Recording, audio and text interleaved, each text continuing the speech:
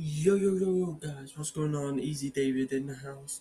Just want to let you know, um, this Friday, my mate Adam Grindrod is coming over to stay again, and um, it's gonna be more banters, and uh, I'll let you all know. I will, I'm trying to get a video of me and Adam trying to do banters and then I'll upload it to YouTube. But I doubt it, so. I'll see you on Fri- I'll see you guys on Friday. If not Friday, I'll see you tomorrow. So, peace out, guys. Take care. All the best.